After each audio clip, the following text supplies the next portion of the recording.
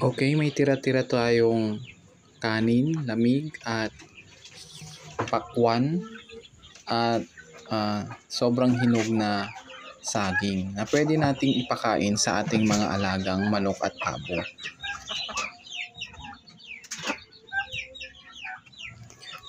Ayan, natanggal na natin yung balat ng saging.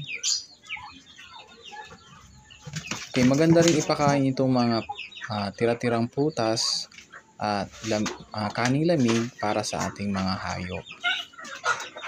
Para nilang snacks. Ayan po, subukan nating ibigay ngayon sa ating mga alaga.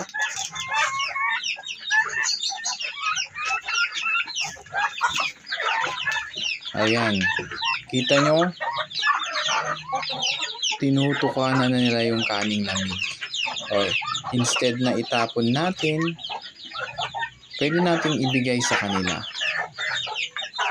Makikita nyo rin dyan na nag-aagawan tong mga alaga nating manok at pabo. So una nilang kinain yung kaning lamig. So wala, dahil wala po tayong aso, wala pa po tayong aso, ayan, ayan yung kaning lamig. Pwede nating ipakain.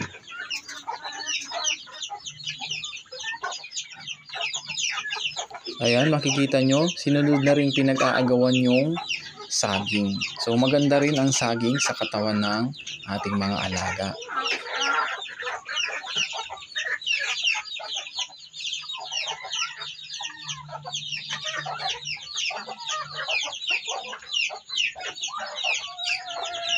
Ayan, malapit na nilang maubos yung kanin.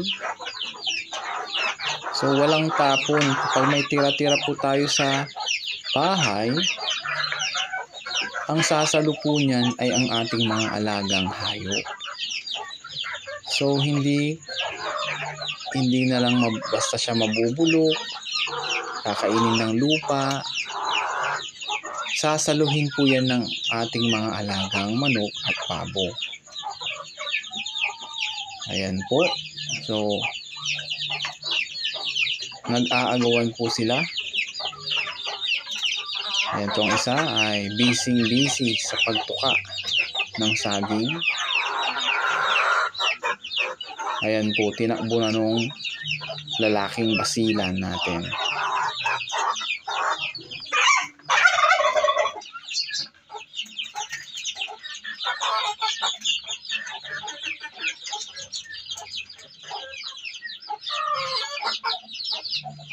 So ayan po, tinutukan na rin nila yung pakwan. Ayan po. So yung pakwan ang nahuli, inuna nila yung ano, pamilyar silang kainin tulad ng kanin at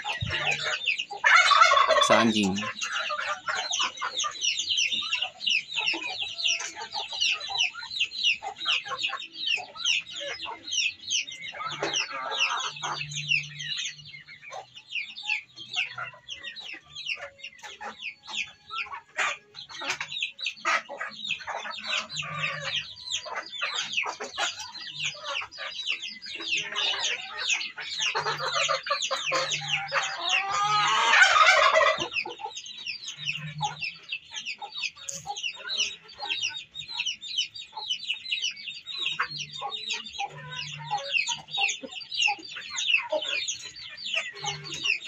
Napakasarap sa feeling na dumarami na ang ating mga alagang manok at pabo.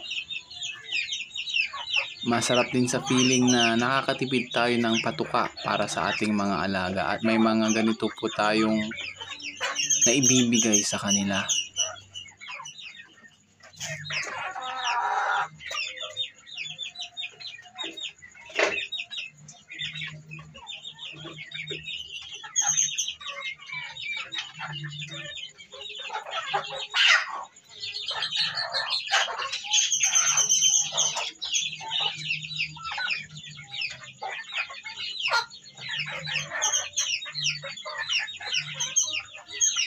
Ayan po, inuumpisahan na nilang kainin yung pakwan.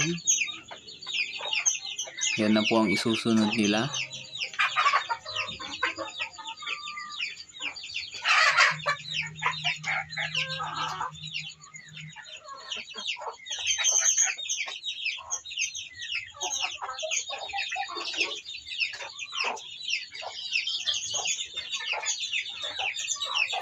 So, pagkalipas ng ilang oras, ito na po yung dinatnan natin.